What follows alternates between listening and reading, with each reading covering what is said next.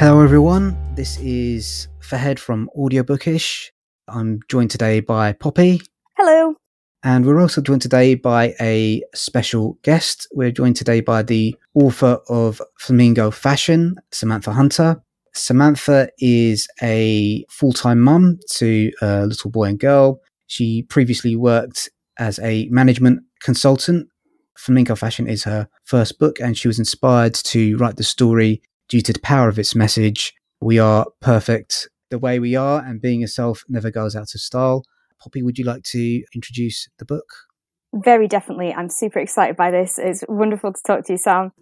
So, Flamingo Fashion is a book for young children, three to six years, written by Samantha Hunter, read by Michael Maloney, audiobook illustrations by Maggie Roberts, and activities in collaboration with Jolly Bookworms.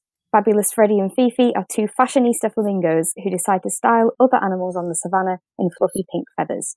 They create silly outfits that have calamitous results, which soon teaches them that we're all perfect just the way we are.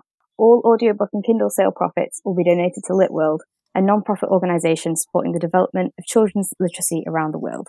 Buy this book for your child and open a new chapter for someone else's. Hello, Sam. Um, how are you? Hi, yeah, thank you so much for having me. I'm really excited to be here. Oh, not as excited as me, I promise. so, could you uh, just tell us a little bit about the book? Yes, well, Poppy just did a really great overview of the synopsis. So it's all about Freddie and Fifi and their creative ambition to style other animals on the savannah in fluffy pink outfits. And their creativity gets a little bit away from them, shall we say. and the animals they design creations for soon learn that it's not fit for purpose in their environment and come back with something to say about it. so Freddie and Fifi learn the invaluable lesson that we are all perfect the way that we are and seek to resolve the creative mess they made, shall we say. Yeah, it's so lovely. And the thing I love most about that message, I think, is that not only is it kind of a personal, you know, learn to be happy with the way you are, you're designed to be you, um, and you know, you don't need to look like other people. You don't need all those changes. But then also on the flip side, Freddie and Fifi learned that they don't need to change everyone else. There's a lot to be gained from working with other people, other animals, um, that are all different and really celebrating each other's differences. So yeah, I really love that. Yeah, I guess I didn't sit down when I wrote the book to think about what's the value and message I want to promote yeah. with this story. It's it's funny how the creative process works. So after the birth of my son four years ago, I actually wrote a book about a flamingo with a pair of magic shoes who traveled Ooh. the world called Freddie's Fantastic Adventures. And I realized that I had written some really great creative content, but it was a long time ago since I was seven, which is what mm. the mm-hmm. book was pitched at. And I really wanted to do something with it. The creative design never left me. I had unfinished business with Freddie the Flamingo. And after the birth of my daughter, walked past a hair salon. and I don't know why, maybe it was in a fit of hadn't had enough sleep. asked myself the question, what if flamingos opened a hair salon? And therein was born the idea of having Freddie and Fifi open a fashion boutique. And I mm-hmm. think the message came out as the story did. And I realized that that's basically the message that my parents raised me with my entire life. So yeah. that's how it all came out. that's fabulous. So, flamingos came to you. Um, are flamingos your favorite animal? Is it someone else?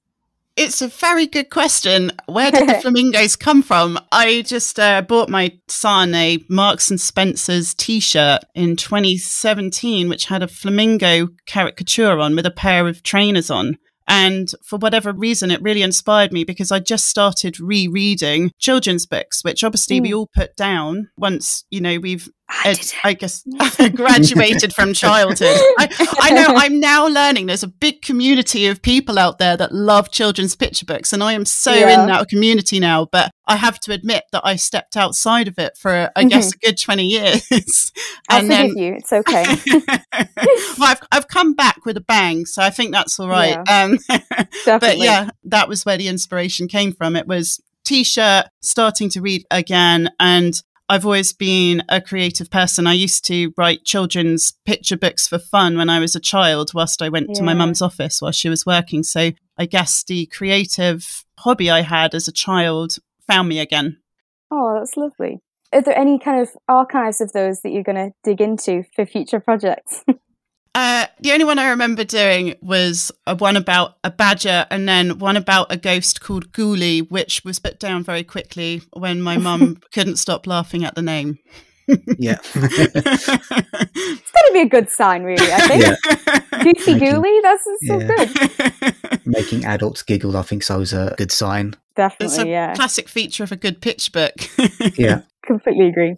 We were talking about picture books, but from what we understand, this is kind of an audio first release. And I was just wondering why audio instead of the picture book yes. route. So the reason why I went audiobook, so it is only an audiobook for now. Would I like it to be a fully fledged picture book one day? M- maybe. When I first wrote it, that was the intent. And I I mm. finished it in January 2020 and then started getting ready to send it to publishers that took unsolicited material. Yeah. And then we all know what happened in March 2020. um, maybe you can remind us. I'm not, I'm not sure. know, I, I, but yes, COVID hit, and I guess everyone's perspective on the world, I think, changed at that moment. Mm-hmm. And I just left it. I just let the book sit for a bit. We'd also just moved house. And I then read a book by a guy called David Goggins, who is an ex US Navy SEAL and has a book out called Can't Hurt Me.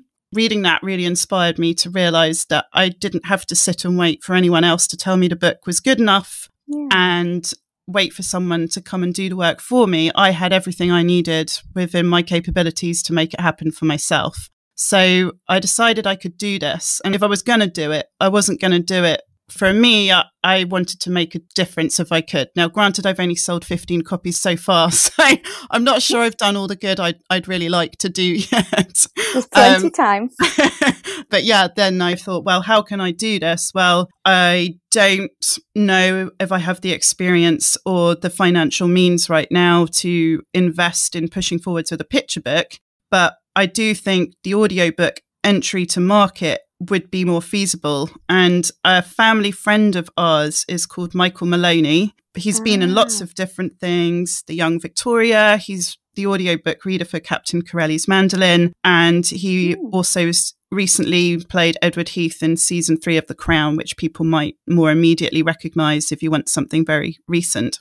So I reached out to him I remember him from family gatherings, and his mum was in the room when my mum was born because she was my granny's best friend. So that's how tight the relationship is between the grandmothers. That's our relationship with Michael. I hadn't spoken to him for years, and he kindly agreed to do it. He said wow. he'd be happy to read the book. Like he took a big risk for his brand because you know, I'm an unknown author with a story, but he felt the story was good enough and did a great reading. It's a fantastic reading. Yeah. Like doing a children's book where you're selling to young children, it's as much the illustrator as the narrator, as the author. So it's totally a teamwork between myself, Michael, and then Maggie Roberts, who I didn't know at all, randomly reached out to because I saw her work and thought she looked great and she mm. kindly agreed to do the light touch illustrations that have been done so far for the book. So just shows you what can happen when people rally behind a cause, really, which I find is just a really great thing to see that people can come together and do something. I know this is a very small level, small scale thing, but it really gives hope when you've got a cause and a product that you can bring the right people around you to help make a difference. So I think that was my favorite part of the process, to be honest. Um, reconnecting with an old family friend, meeting a new one, and understanding the power of collaboration for a cause. Yeah, wow, I mean, that's wonderful. And I completely agree with you. Michael does do a fantastic job. Wonderful to listen to, and all the character voices and gets the rhythm of the rhymes just right. It's, yeah, perfect. I'm very glad that your granny's had that connection that meant you could um, get in touch with them. It's fabulous. I was going to say about that because, like you say, the kind of picture books is they've got two halves to them, haven't they? They've got the amazing illustrations, and then they've also got the rhythm and the rhyme that you so often get in those kind of books. And when you've got someone there that's willing to read it out to you in the silly voices as many times as you want, then that's great. But I think that's one thing that's really brilliant about you doing this audio is that if people don't have someone there that can read that out to them or quite as many times as they might want it repeated again and again, as we all know kids are like that, um, then yeah, they've got Michael's amazing narration there that's just fab.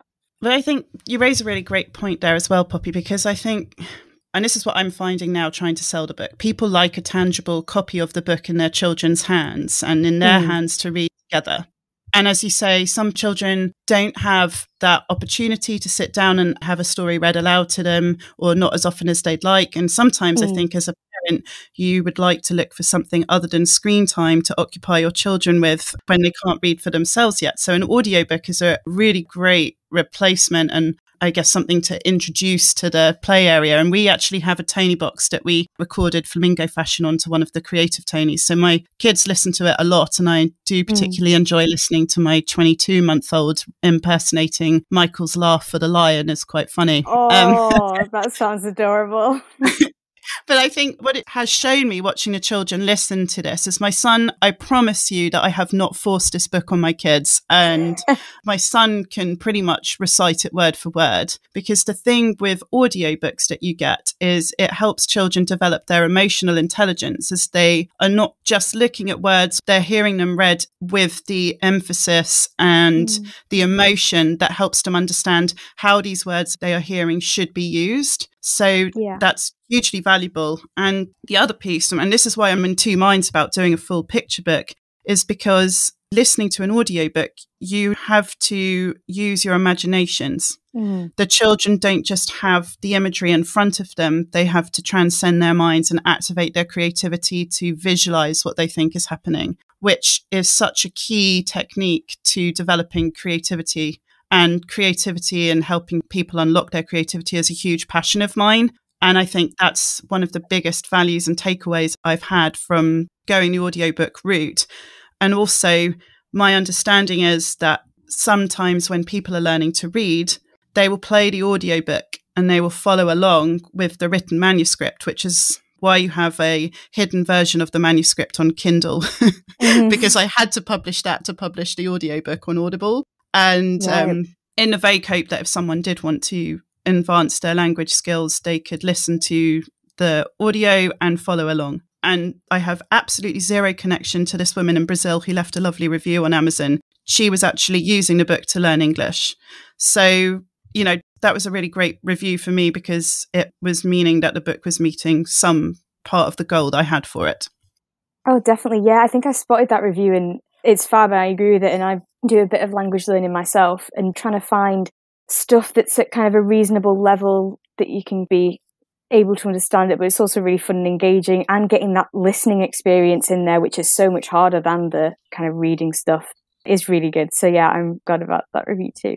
And also, like you're saying about imagination, I think that's sort of a, a weird but wonderful contradiction in that it's a book that's so full of discussion about appearance and colour, and yet you're not actually giving the audience any of that. They have to make that all up themselves, but that also means they're not limited in any way. You know, it can be as colourful as, as their imagination wants to make it. And I think that's quite wonderful. Yeah, that's a great point. I had to visualize it when I wrote it, so I guess it's only fair to make everyone else do the same.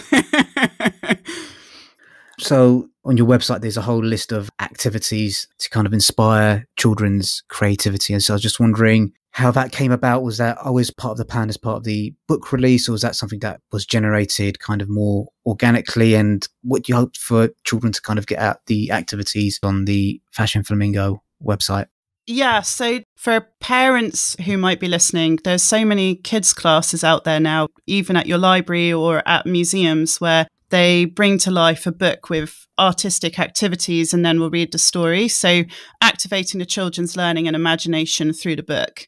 And I've really enjoyed myself attending these classes and doing the art activities with my then three year old because at that time, really, you're the one doing it, mm. assisting the sticking parts. And having done that a lot really opened my mind to the potential with flamingo fashion.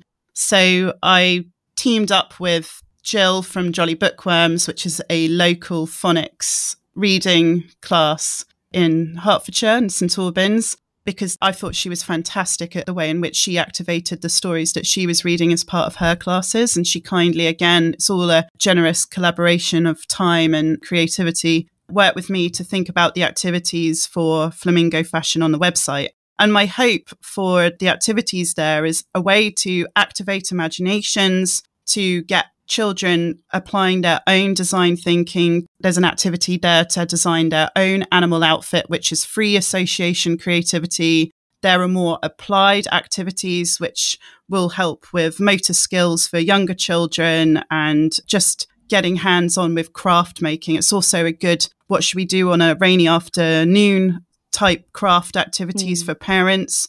My particular favorite is the giraffe in the story as a dancer, and there is a activity to make a homemade disco ball and then have a dance party afterwards. So dancing is another great form of creative expression. So there's a lot there. And also I really enjoy the children's obviously mocktail making, which Belvoir Drinks kindly helped deliver a recipe to help with that activity as well. That's really cool. And so obviously we know you're very creative, but we can't and the listeners can't see you at the moment. How do you describe your fashion? Are you a, are you a flamingo pink or do you I, um, this is funny actually because I've been having this conversation. So I um I just paint a picture. I have a 22 month old girl and I have an almost 4 year old boy mm-hmm. and they consume my day. Yeah. I, they've both now started going to nursery and school so I have about 4 or 5 hours to do a bit of work 3 days a week. So maybe this is the irony of this whole entire book. I, my fashion is put on some clothes, hope the kids don't wreck it by the end of the day, so that when I pick them up from school, I look somewhat immaculate. But I'm a comfort dresser, so maybe my fancy for, you know, those days where you do get to dress up came out in writing yeah. flamingo fashion. But I'm very much a yoga leggings and a jumper type person. nice. and I, yes, they are in pink. There is, I do have ah, pink in the wardrobe. Go. There we go. oh, that's fab. And yes, definitely a good plan. And I'm definitely with you with the comfy clothes, though less so with you with the pink, but that's okay. We're, we're all different. so you're donating all the sales profits to LitWorld. Could you tell us a little bit about the charity and why you decided to become associated with them? Yeah, so this all came about when I lived in New York for seven years and I was walking through Manhattan talking to a friend of mine who is a leader of corporate social responsibility for the organization I used to work for. And she had mentioned that the organization I work for is really supporting children's literacy. So didn't really think much about it until like a year and a half later when I was coming to think about, well, where does the money go to if I want to make a difference? Mm-hmm. And then obviously the seed was planted and that came out. And I thought, well, I've written a children's audiobook. What better charity to support than a children's literacy charity? So I Googled and wrote, you know, best children's literacy charities and a whole list of great charities out there came up and LitWorld grabbed my attention because they focus not just on helping children learn to read and write, but also to help them develop their own creative confidence. So they really help children through learning to read and write, build their confidence in their own identity and be able to express their own story. I really latched onto that concept and that's why I picked them. They're also based in New York they are quite a small charity, which I also think is a great way to go because some of the really great, huge charities get a lot of money comparatively. Mm. Whereas I wanted to help and support a smaller organization to achieve what they're looking to do. They also, at the time, I'm not sure if that's still the case because I haven't been able to find the link on the website, were collaborating with an organization called Glow on the Her Story campaign. And I really loved the idea about how they were focusing on helping specifically girls and women empower themselves through reading and writing to be able to tell their story and create change in their communities. Because in a country like the UK, where education is free, and I guess there is an assumption mm-hmm. that all children are able to access it, which is definitely an assumption, we perhaps take our ability to read and write for granted. And LitWorld have is their belief that literacy is not a gift for the chosen few. It's a fundamental human right. Mm-hmm. And I couldn't agree with that more. Reading is how we learn, it's how we grow, and it's how we dream.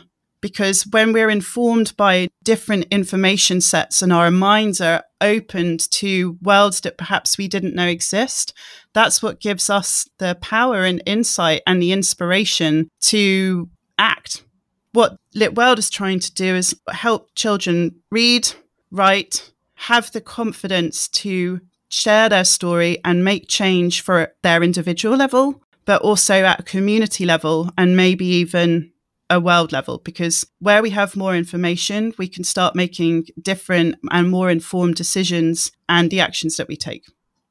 Yeah, I think that's fantastic, Sam. I think one of the things that the past year or so has shown us is how important stories are to people. You know, pretty much everyone turned to kind of Netflix or audiobooks or some stories to find a comfort or mm. respite or escape from the day to day situation of kind of being locked inside a house for, you know, close to 24 hours a day. And I think it is essential for everyone to be able to read in order to gain access to that comfort and that escapism. So yeah, it's a fantastic thing that you've done well, I've only sold 15 copies yeah. yet, so I'm I'm working on it. But what yeah. I have decided is that I've recently just starting up to go out on my own as a consultant, and I've decided that when my company and if my company makes money, I will continue to support this charity. But I wanted to also pick up on the point about how we've all been turning to stories. Stories are basically how humans have been communicating for I don't know if we can think how far back in time yeah. stories have been part of the way in which we connect as humans. And one of the stories in LitWorld's research report is about a woman in an African village. And she had heard about these LitWorld camps for children, I believe, and sought to find whether she could create one for adults because she was a woman in her community. She was HIV positive and she couldn't read or write and wanted to learn. And she set up the first LitWorld Club for adults in her community to help other women come and share their stories and connect and learn. And I think she framed it as seeing hope and a way forwards. And I think that again was something that really opened my eyes to the power of reading and writing and storytelling, not just at a child level, but at the adult level. I think we're all perhaps those of us who can read and write and listen can hear a story, but learning how to tell a story and connect with others through a story is a skill that I think even I I definitely could do better at as an adult. So that was another thing that really stood out for me. Yeah, it definitely sounds like a, a wonderful cause to support. I think that's fabulous. And speaking of your writing, which I do think is great, um, I wanted to ask about how do you kind of come up with your rhymes and things. That's obviously quite a difficult skill, but also quite a fun one to play around with those rhymes and stuff. Again, both kids and adults doing that kind of creative thing. How do you work yours? Do you sort of know which words you're going to rhyme and work backwards? Do they just naturally come brilliantly formed as uh, as rhyming pairs? What kind of thing do you do for that? Yeah, this is the hardest part and the bit that annoyed my husband the most because I'd literally be sitting there counting syllables on my fingers. But there's a, a hidden lady who supported me in this called Sandra Glover, who was a mentor that I had found through Cornerstones Literary Consulting. They're an organization who help authors maybe with editing or coaching through the writing process. And Sandra challenged every single line and pretty much every mm. single word. She didn't give anything to me. She challenged me and pushed me to go beyond what I had. I've started getting into this whole Instagram thing, which is perhaps not my bag, but I'm giving it a go. And yeah. I I found an old paragraph and I literally read one of the first drafts and it wasn't good. and this would be a message for people who perhaps feel, I mean, there's the saying, isn't there? We've all got a book inside of us. So if someone is feeling inspired and feels they do have a book inside and it's a children's picture book and they want to write it, start with the story first. That's what I did. I came up with mm-hmm. the rough concept and then an audio book or a picture book, how these sound in the mouth is really important. Yeah. So they have to feel good to say. So you have to look at it from that level. Then you have to look at it from the perfect rhyming level for each part that you're rhyming. And then the rhythm level. So you have to ensure that the syllable count is correct on every single line. So I'd literally sit there watching TV, imagining lines in my head and thinking about how I could reorder the syntax and also what words might be better placed because another key feature is show, don't tell. Yeah. The line about a sherbet pink river surging through the grass, that is massively showing in terms of giving a visual for everyone's outfits washing through the African plains. I think for me, landing that line was when I realized that I was starting to get the idea of how you do it. oh. So, yeah, for me, the whole book was a learning process. I had an idea, I had a reasonable amount of handle of the English language to have a bash, and definitely had read mm. enough picture books to give me insight into what good looked like. But I definitely needed coaching and help on the way to turn what was pretty mediocre into a reasonable book for people to listen to. See, that's kind of part of the reason why I never tried sort of like poetry or verse because it's just kind of like trying to reorganize those lines into a way that gets into a rhythm was just. I remember finding great difficulty with that at school. So it's just, you know, you taking that approach to make sure that the, you know, as you say, it sounds good when you're reading out loud is not easy. Yeah, and all your hard work clearly paid off. There's a lot of picture books that are fabulous and a lot of my favourites where you just have that odd line that really it doesn't quite work, does it? But yeah, from what you're saying, you've clearly been trying really hard to just not let that be a thing, and yeah, it, it shows. Yeah, well, I, I should also say perhaps, you know, rhyming couplets isn't your bag. mm. like my mum, when I was growing up, used to write treasure hunt clues and they were all rhyming. So mm. my mum is another unsung hero on this book because she literally sat there with me thrashing out some of the lines that I was really struggling with because this is her bag. And obviously, I have been influenced through my creative inheritance, shall we say, from my mum. So I just definitely should give a shout out to my mum. That's what most people do, isn't it, on any sort of radio show or TV yeah. show anyway? yeah, I think so, yes. so speaking of influence then, after your forgivable, I guess, break in children's books, what was your favourite one or favourite ones? Can you pick a few that, yeah, really stick with you? Yes. So I am a massive fan of Peter Bently's books. We hmm. found mm. those magnificent sheep in their flying machine in a small library on the Upper East Side. And I fell in love with that because it's funny. The rhyme is perfect. Mm-hmm. And there's a little bit of world travel in it as well, just to give the kids an insight into mm. what's out there perhaps not a Yeti, but you know, at least he introduced the idea of Nepal. And then I love the Shifty McGifty books as well. The ones that I think there's also ones out there for older readers, but the ones that are rhyming for young children. Mm-hmm. I really enjoyed those ones. And the Rachel Bright books, obviously, the koala yes. who could story. And the lion inside. Yes, and the squirrels that yeah. squabbled.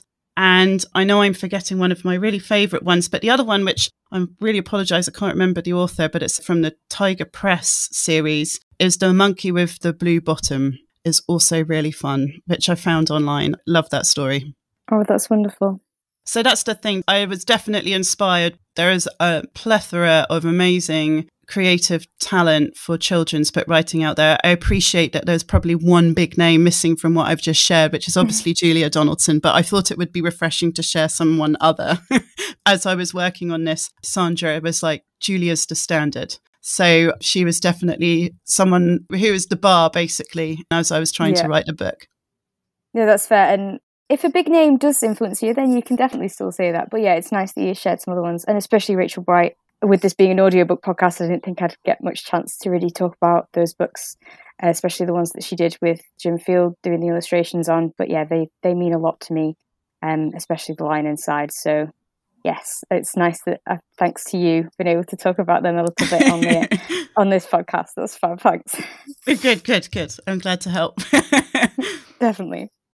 So you kind of mentioned David Goggins earlier on in terms of inspiring you, giving you the confidence to go off and just do the project, not waiting for permission from anyone. I was just wondering in terms of actually bringing the project together, what was the most challenging part of it? And if there was any advice that you was going to give to writers or creators who would be embarking on kind of the same path, what thing that you know now would you kind of advise them to be wary of or kind of look out for when they're starting their project? Yeah, that's a really great question. And I guess I'll, I'll take the last piece first, which is if you have an idea and you're passionate about it, then sit down, get a first version of it out, and see if you really think you've got something. Because I think often what can happen is we'll share that we have ideas and can let our own conscious mind and our own judgment of ourselves and fear of what others might say get in the way of us actually even taking action to get the idea out of our heads onto paper. Mm. So, my first piece would be if you've got an idea and you think it's good, put it down on paper and then take a, a second look. Don't let fear cripple you before you've even taken the first jump. My mum is my biggest supporter well, one of my biggest supporters, I should say, my dad being the other one, and, and my husband. But when I shared the idea initially with her, she wasn't that into it. Uh, maybe I hmm. caught her at an off moment. Um, but I believed in the idea enough that I discarded that point of view and went ahead anyway. and now my mum's the biggest fan of, of the book. So that's just a case in point. If you believe in it and you're passionate about it, do it, write it. And then from there, when you've got the first draft, then it does get a bit more challenging because you have to start playing with the art of it. There was lines that I really, really liked that I first did, mm. and I had to mm. break them and change them and throw away, quote unquote, the babies and put something else yeah. in, which was very challenging, but also hugely helped enable creative breakthrough if you're not passionate about it, you won't have the energy to push through the harder moments. It would be easier to leave it an aside. So you have to have passion and belief and also fun, to be honest. It should be a fun process. It shouldn't be a bashing your head. Like I enjoyed the challenge of trying to craft the wording. It wasn't easy. It doesn't come naturally to me. I hate detail, but I believed in it enough that it kept me going. So that would be a really big insight into coming up with your own projects the most challenging piece has honestly been the marketing. mm. Like when you sit down to write a book, you think, okay, I've got the story. There we go. Great. Then you have to get it on the editing suite. And that's tough in terms of pushing you to go beyond what you thought were your creative limit was.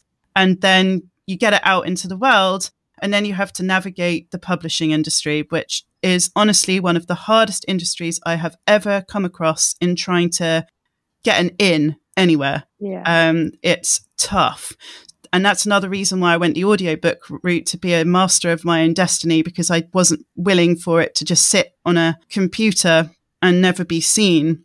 I wanted it to be out there. I felt it should be out there. And, and that's another reason why I went the audiobook route. But the marketing piece, do not underestimate it. It's mm. hard. Like I've gone onto Instagram. I have done a flamingo dance in my back garden with my best mate to encourage people I've tried to create viral videos. I've tried to create viral poses. mm. I've done quote unquote inspirational messages about writing and creating, highlighting the cause and the charity. It's tough. I am so grateful for you taking the time to oh, be on your podcast because for me, this is a big deal and I'm so grateful. I really hope lots of people, whether they, uh, well, I hope lots of people listen and go and buy the book, not just because the book is good, but to support the cause, also, if you download Audible and you've never used it before, it comes with free credits. And if you use those free credits to, the book, that's money that still goes to the charity. So it's a very easy way to give money to charity for free. so, yeah, those are my insights. So believe in what you've got, get the first draft out, play with the potential, challenge yourself, be prepared for the challenge. It's not all easy, and find your way through the publishing industry in a way that is authentic to you and market. If you know someone famous, you're one step further ahead than me. Yeah. well, apart from Michael, of course. oh yeah. yeah, I know, I know. I haven't I haven't asked him to pull on his Hollywood links. I think he's done Yeah. enough. yeah. yeah, that's fair. And I think they're great bits of advice. And I'm so glad that you're so happy to be here because we're definitely happy to have you. Yeah. It's the first author interview that I've done as a proper kind of speaking interview, and that's really exciting. So, yes, thank you very much. Well, one thing we haven't got around to talking about yet is the music that kind of opens and closes the audiobook. Oh, yes, and I love brilliant. it. I know Yeah, that it brilliant. is. Yes, I know that I would definitely have been annoying my mum with singing it along over and over again if I had had this when I was younger. Might still do that now. Um, I think it's great. How did that come about? And yeah, how did you get that on there, especially with you doing this kind of more on your own than with a publisher? Yes. So another person who's been part of this team, and thank you for bringing this up, who hasn't come up yet, is a guy called Rob Lawrence, who I met through starting to set up my own podcast. And I'm hmm. really grateful for that connection because obviously he's helping with the podcast and he's great, so insightful about the podcast industry and all the equipment you need. So you should have a good recording for this because I got the stuff. Oh, nice. but he produced Flamingo Fashion as the audiobook and he shared this huge ream of places where you can go and choose music because there's obviously lots of platforms out there. The one I used was Tune Tank, and the piece Mhm. is called Funny Situation. I heard it and was like, this couldn't be more perfect for the book. So apologies, I do not know who composed it, but it was Tune Tank, Funny Situation. and I just downloaded it from there. So that was the story. I know there are people out there who have podcasts who've got older children who've designed the music for it, but it was nothing creative like that. That's totally fair, but you're right. You found the right thing. Yeah.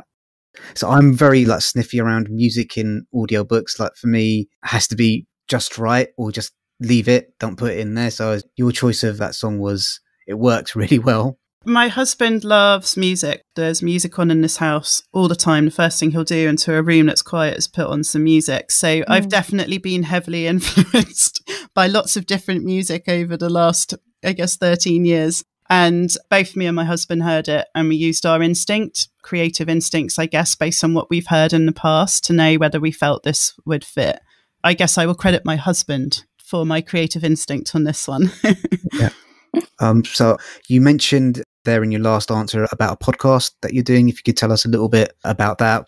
Yeah, I'd love to. So the podcast is called Natural Born Thinkers, and it's a podcast designed to help anyone who listens to live their most creative life, to embrace a more creative lifestyle. So I believe that everybody is wired to be creative. It's a belief set or a choice not to think that you are creative. We all have the biological potential. It's just a case of learning the techniques to unlock it and practicing them and getting good at it. So I believe that creativity is for everyone. Everyone is born to think differently. We're all shaped by entirely different experiences, which give us our own unique set of creative stock, shall we say, to draw on.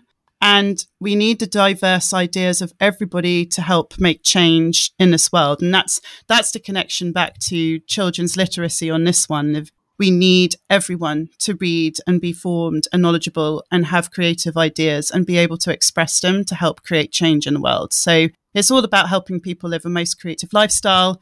I've interviewed a range of people. These aren't big, you know, famous in the magazine type folk that I'm interviewing. These are all professionals in their own right. So I've got business professionals. One of them is my uncle, who just happens to be a volcanologist and a movie maker, which is quite an interesting combination. And also an old swimming coach of mine to learn about creativity and how we can bring it into our life from lots of different areas. So hopefully something in there for everyone and I'm really passionate about it and have the tagline born to think differently as a reminder that we all have the capability to do it.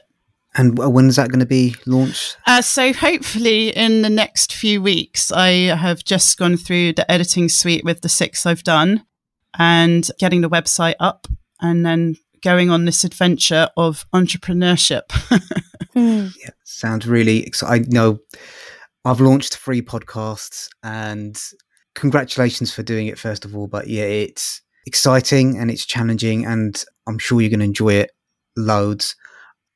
what's the next book going to be? Oh, the next book. Yes. So I wrote two books before I wrote Flamingo Fashion. I wrote one about the gorilla in the garden because my son came home from nursery and saying, I don't want to go in the garden. There's a gorilla in there, which I thought was hilarious. Mm.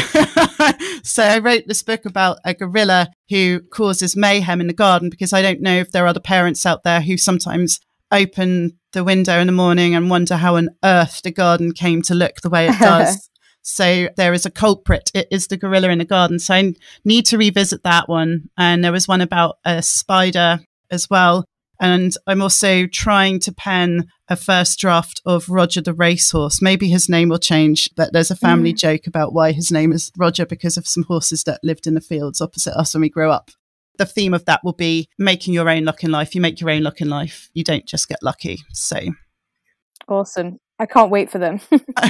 I'd literally hold your horses on that one because I will wait for them. I will wait for them, but I don't want to. Yeah. They, uh, they need a lot of work. So got to get back into the counting syllables game. yeah. So thank you very much for taking the time to speak to us today. We've I think I can speak for Poppy as well. We both really enjoyed the book. Yeah, definitely. Fantastically performed and produced. Where can people find you on the internet and social media and all that good stuff, Sam? Okay, great. Yes. So the book is on Audible. And if you want the manuscript, please don't review the manuscript for not having enough pictures in it. It is a manuscript, mm. which I've had a few of those. That can be found on Kindle if you want to read along. There is some really great imagery in there by Maggie Roberts to bring some of the key personalities in the book to life. And I have an Instagram page, which is at Flamingo Fashion Book. It's not just me reposting, thanking people for liking my page or whatever, which I find quite frustrating. I do try to put up some original content about the book, about the cause, and also about unlocking your creative potential. And I have the website, which is flamingofashionbook.squarespace. If people are interested in pursuing their creative lifestyle, Natural Born Thinkers has an Instagram handle of at Natural Born Thinkers for now, and there will be a website which hopefully will be www.naturalbornthinkers.com. so yeah, this is quite exciting. That is our first author interview done. Um, Poppy, any closing comments you want to make? I don't think so. I think we covered everything. It's a wonderful book, supporting a wonderful cause, and uh, yeah, great for kids and adults alike. Okay, so I think our next episode will be no Fixed Abode by Maeve McClenaghan, and it's a expose of the housing crisis in the UK that was started off with an investigation that was looking at how many homeless people were dying in the UK. So that's going to be our next episode. Uh, once again, thank you, Sam. Thank, thank you, so Poppy. much. Thank yeah, you. thank you so much for having me. I've really enjoyed myself, and I really wish you the best of luck with Audiobookish as well. Hope everyone listens. Oh, you're more than welcome. And yeah, the pleasure's all ours. And great luck to you too. That, that's very kind of you. Okay, guys, let's say uh, goodbye. Bye. Bye. Bye.